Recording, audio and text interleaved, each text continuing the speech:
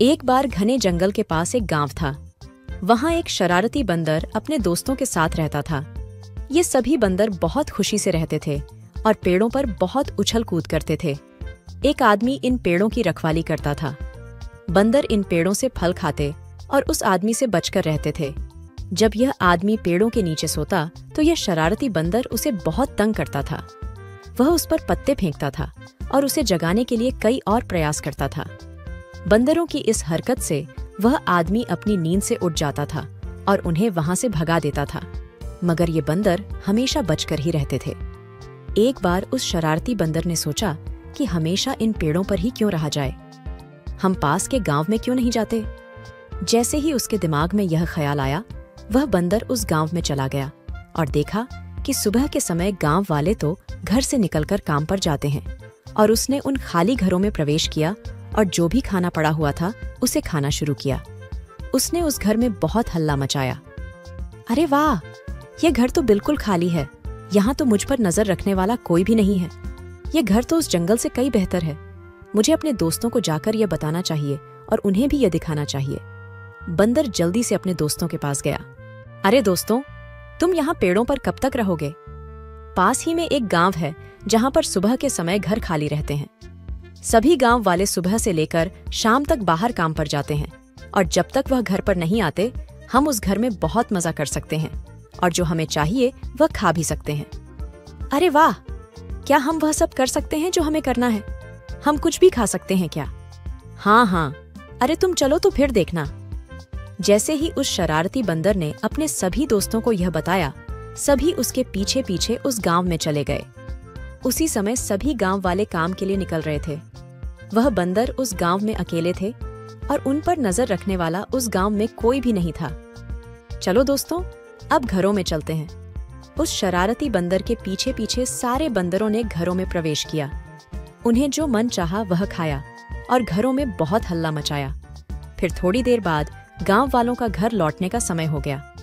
घर की हालत देखकर वह दंग रह गए और बहुत परेशान होने लगे कि ऐसा सब किसने किया है? फिर क्या उन्हें तो पता ही नहीं था, यह सब किसने किया है? और रोज की तरह वे अपने काम पर चले गए। ये बंदर उनके जाने के बाद घरों में चले जाते। जो उन्हें मन करता, वह खाते और चीज़ें इधर उधर फेंकते। उन्होंने घर में बहुत उछल कूद की। फिर एक दिन रामू नाम के एक बच्चे ने उन बंदरों को घर में घुसते देखा, क्योंकि बंदर बहुत सारे थे। वह डर गया और एक गुप्त जगह में जाकर छुप गया। जैसे ही ये बंदर घर से बाहर निकले, रामू बाहर आया और उसने गाँव वालों को आते देखा।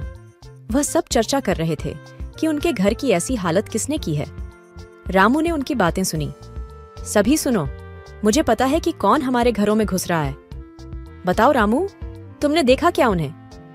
हाँ मैंने बंदरों का एक झुंड देखा, जो आपके जाने के बाद घरों में घुस जाते हैं और फिर कितना हल्ला मचाते हैं। मगर क्योंकि मैं अकेला था तो डर कर छुप गया। रामू, क्या यह सच है?